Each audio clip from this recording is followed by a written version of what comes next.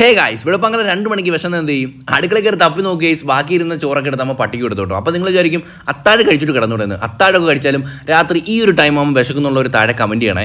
അപ്പോൾ നമ്മൾ തട്ടുകളെ നോക്കി ഇങ്ങനെ അലയാണ്. വെളുപ്പങ്കല രണ്ട് മണി ആയതുകൊണ്ട് തന്നെ എല്ലാവരും ക്ലോസ് ചെയ്തിട്ടൊക്കെ പോയി.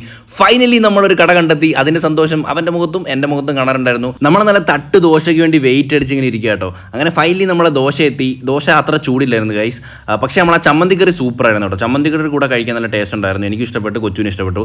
നമ്മൾ അതിൽ നിർത്തിയില്ല. നമ്മൾ നല്ല ബീഫ് പറഞ്ഞു ബീഫ് നല്ല അടിപൊളി സ്പൈസി ആയിരുന്നു. കുരുമുളക് ഇട്ട് നല്ല വറ്റിച്ച് വെച്ച നല്ല കിടിലം ബീഫ് ഗൈസ് പിന്നെ ഈ കാപ്പി എടുത്ത് അണ്ണാക്കിലോട്ട് മറിക്കുന്നതിന് പോയി ചൂടാണോ ഇല്ലയോ എന്ന് അറിയണം കേട്ടോ. അല്ലെങ്കിൽ ഇങ്ങനെ പൊള്ളിയിരിക്കും. മര്യാദയ്ക്ക് ദോശം ചമ്മന്തി കഴിച്ചുകൊണ്ടിരുന്നപ്പോൾ ഈ ചേട്ടൻ കൂടെ ഒരു മാട്ട ഗ്രേവി കൊണ്ട് അത് ഒഴിച്ചപ്പോൾ ആ ഫുള്ള് ഫ്ലോയിങ് പോയി. അങ്ങനെ കൊച്ചു ഒരു ഏമ്പൊക്കവും വിട്ടിട്ട് പറഞ്ഞു. സന്തോഷമായി ഉണ്ണിയേട്ടാ ഇനി വീട്ടിൽ പോയി കിടന്നുറങ്ങാം.